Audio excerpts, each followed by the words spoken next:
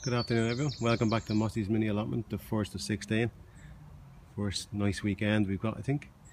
So quick video today, I'm not going to look at the plot because there's not much happening.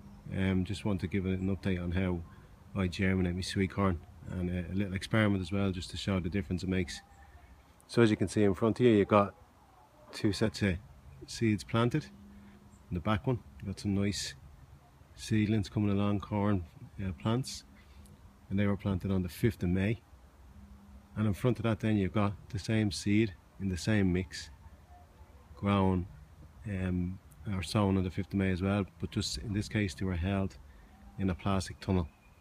So let's have a little closer look and see what the difference is. So as you can see from the label. Sown 5th of May F1 Sundance is the, is the sweet corn let's look at the back first. This is a Garland heated seed tray. So put three seeds in each one. Pretty much 100% germination apart from one in that tray there. As you can see they're looking good. I know people say you shouldn't split sweet corn. I haven't had any trouble before so I let them grow into it a bit further on. Split them up and then put them into small pots, individual pots. Normally what they look like when you see it, sow them, it's just the lid goes on like that. I usually just keep them in the shed and then take the lids off when they, they reach the height.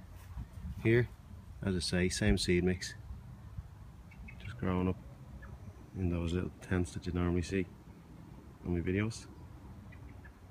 And to date, all we really have is the start. So you got single seed in each pot, and they're just starting to poke their head through. Seed mix is just normal compost with a bit of vermiculite. I think you'll agree. Big difference in results and definitely the way to go if you want to germinate your sweet corn quickly. I'll keep an eye on them, come back with a couple of videos as they grow on. Thanks for watching. Slán.